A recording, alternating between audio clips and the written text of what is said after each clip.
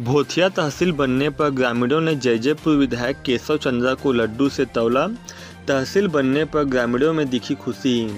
Jaijaipur block के भोथिया के तहसील बनने पर ग्रामीणों ने जयजयपुर विधायक केशव चंद्रा को लड्डू से तौला है। इस दौरान ग्रामीणों में खुशी देखी गई।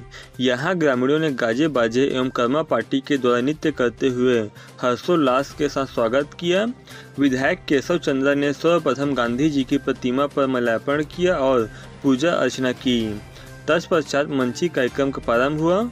इसके बाद तहसील बनने के लिए आंदोलन एवं पद यात्रा में विशेष सहयोग प्रदान करने वाले ग्रामीणों का पुष्पमाला पहनाकर सम्मान किया गया। ग्रामीणों ने विधायक केशव चंद्रा को लड्डू से तौला। यहाँ विधायक केशव चंद्रा ने मुख्यमंत्री भूपेश बघेल एवं प्रभारी मंत्री जय सिंह अग्रवाल को धन्यवाद देते हुए कहा कि भोथिया को तहसील बनाने ग्रामीणों काफ़ी लंबे समय से मांग थी। पिछले 22 साल से यहाँ उप तहसील खुला है। भोथिया को तहसील बनाने के लिए पूर्व में दो बार भोथिया से जांजगीर तक पद यात्रा की गई थी।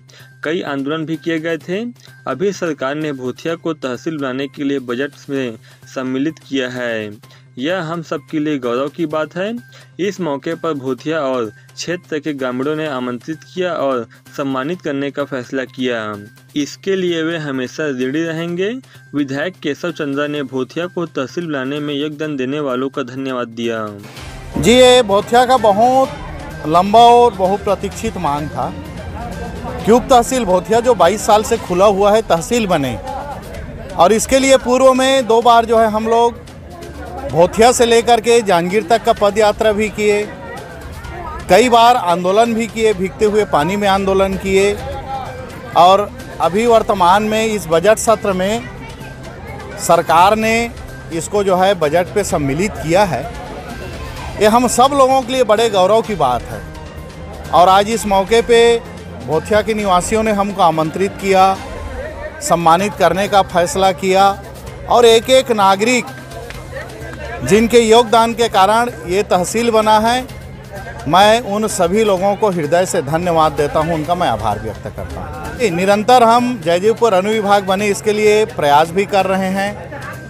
राजपत्र में प्रकाशन भी हो गया दावापत्ति भी मंगा लिया गया है। लेकिन सरकार दुर्भावना से अभी तक जो है उसको अनुविभाग बनाने का आदेश जारी नहीं किया है।